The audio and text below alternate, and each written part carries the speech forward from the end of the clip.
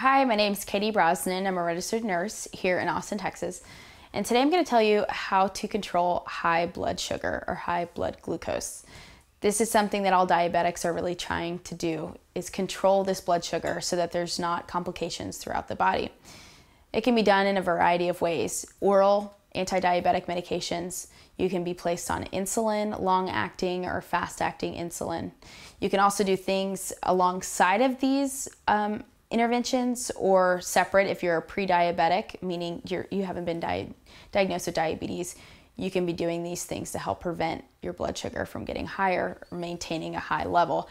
And that's diet. You want to avoid uh, simple carbohydrates. You want to avoid uh, white flours, white sugars, um, white rice, um, any sort of simple carbohydrate that's not actually bringing nutrition to your body.